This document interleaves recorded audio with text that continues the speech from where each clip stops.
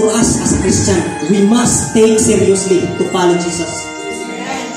Kaya nga, we are the salt and the light of this world. Kung nagpati ka muna, sa inyong pamilya, even though wala ka mo preach pero may pamilya ka mo nga mudilan. Tama no? May pamilya kita nga mudilan. You cannot deny me or you cannot deny Jesus. Pero sometimes pala sa ato nga kabuhi, ang Bible ba na wala? Nabaliwala ka sa ato. Pero, pero sa pag-uso sa Bible, ipanghatag lang ang Bible, gigit ka ba na magbasa? Tama? Tamo free Bible pala. Pati ang cellphone, wala ka na excuse ni. Kaya mo kumahambal ka, kinuryano ka, may kuryano man din. Anong siyo? Anong tubig? Anong lupa? Aring nakita ka. Tama. Maaari ka nang ako na wala kayo. Rason, hindi ka magbasa sa Bible.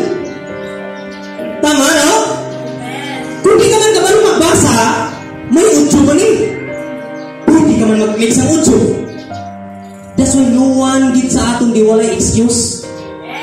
Pag gusto, may paraan.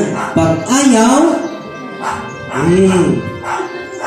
Eh, siyempre, na may dahilan ka. Sa, nataw ba lang? Balik na. Sa mga kasawa ko lang, damo na rason ng iba, no?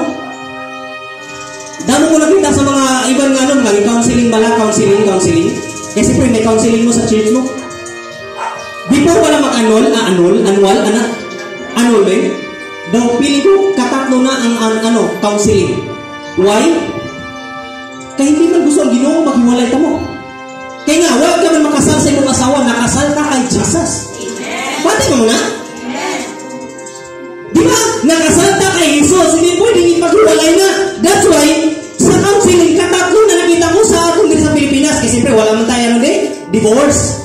Kaya kung basahin niya sa Malakay, anong number sa ginoo, I hate divorce, tama? Ah, sa Malakay na, basahin niyo lang. Second version, ha? Sa New Living Translation, ang mga gibasa ko. Kaya sometimes ang iban mo, Pagkabal pastor, alangan pastor, maogdan na pa kami, hindi na na muna no. It is a challenge for us to decision to move forward. Eh, dito ang parte na ito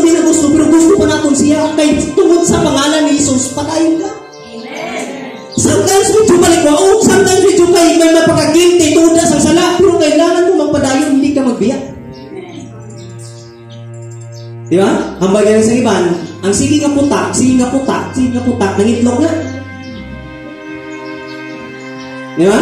Challenge sa ato nga ang gusto ko ni gusto mong isil-sil ko sa yung alipatakan ko sa Bisaya pa, gusto kong ibutang sa inyo nga uto. Kaya ako nat natao ko sa pamilya broken. That's why, gigamit ko sa Ginodere as a leader, gusto ko na ipaabot sa tanan.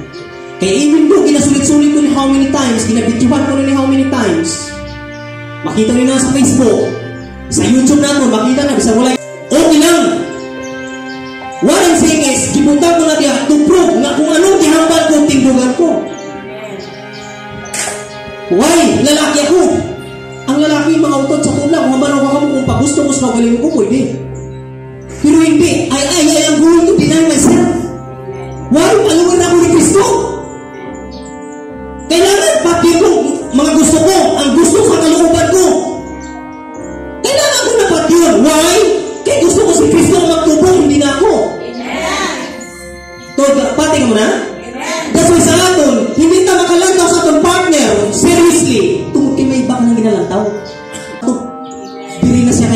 sumug, di ba? If anyone is in Christ, the old has gone, the new has begun. Pati mo na. Oh, the, the new has, the old has gone, the new has begun. Kita pa ko na daw siya kinuka. Wa, wa, di baliwala ko na to siya. Kay tungod sa needs pala. Tungod sa wants pala. Sino-sino na lang nga lalaki, mga apam. Na karon ang niya pinaka-worst pa. Last niya nga challenge sa isa ka lalaki. Why na siya mag-take? Kaya nga, need girl nga apam. Negro, tapol. Kilala ko na? Negro, tapol, apam. Nga karon ang iyang friend, kay hangol sa kwarta, dahak-dahak sa kwarta, hatagan sa 5,000 sa una, ako na na. Pagkuha niya sa motel, kulang pang ospital. Ang 5,000. I don't know kung ano nabungkag siya, basta. Maganda lang ako, gusto ako, gusto ko si Diyos. Tuna, huwag ko nagambal sinong nga tinikal, kundi that is my experience. Kaya nga, gusto nilang ipamukha ni Satan, Hoy, Satan, tapos ka na. Bako na ko nga tinugan, hugay na, tapos na ko.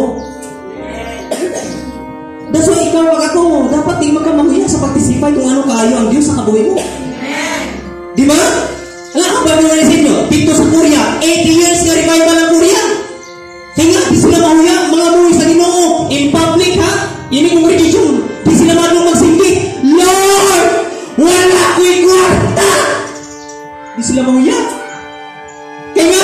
nga, hambalo sila mo kung sino gisinggit nila mo. Thi- This is our challenge. Nga bisag diin ka ibutang sa Ginoo, dapat kabalo ka magsinggit, mag-testify kung ano ka maayo ang Dios sa kabuhi mo. Kaya nga, ang iba na gani, Lord, Pilipinas ha, gusto ko asawa. Mahuya pa ka, maghambal, nag-doubt ka pa. Pero sa Korea, 83 years na revival, grabe. Ang Korea na sila na, ang Korea sa una, wala bugas, dili na sa ato nagkuha. Nagulat daw yung story ha? Grabe! Kaya may pinatawag sila ng prayer area sa Korea mo.